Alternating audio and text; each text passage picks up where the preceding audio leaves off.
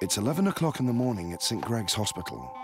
We've got a male, 55 years old, going into cardiac arrest. We need to get him to surgery ASAP. OK, we'll take it from here. Okay, we've got a man of medium income, possible smoker. Right, do we have a bank card? The managers have decided to take a more hands-on approach with the A&E department. Got it. Clear. It's been denied. Um, uh, look, date of birth, look. Clear. Mother's maiden name. What? Why are you lot never booper? Can I help? Do you know this man's pin? No, I'm a doctor. Last attempt. Who wants to call it? He's gone. I mean, it's always incredibly sad losing a patient, but I think the hardest part is informing the families that they couldn't afford to save them. His heart still beating?